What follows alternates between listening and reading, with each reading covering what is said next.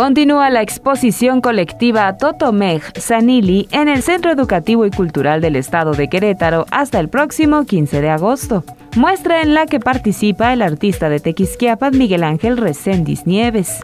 Para Ángel no hubo límites ni imposibles para realizar el sueño de ser artista de manera autodidacta en su formación y ha logrado perfeccionar su técnica e incursionar ya de manera internacional en algunas convocatorias representando a México. Alrededor de los 10 años comenzó a internarse en la pintura y después optó por la técnica al óleo y acrílico, en una propuesta que tiende al hiperrealismo. Trato de disfrutar todos los días lo que hago, ¿no? No sé a dónde voy a llegar. Lo que sí tengo claro es que quiero dominar mi técnica, en seguir cruzando fronteras. He estado exponiendo en San Antonio, en Texas. He tenido oportunidad de mandar a Chile, he tenido oportunidad de mandar a Venecia las cosas como que van, van dándose también, pero trabajando, ¿no? Ángel busca proyectos y formas de mostrar su trabajo. En Totomeg, Sanili comparte con artistas de varias partes de la República Mexicana, donde presenta dos piezas que busca crear conciencia entre los espectadores sobre la preservación de nuestras especies, como el caso del quetzal y el colibrí.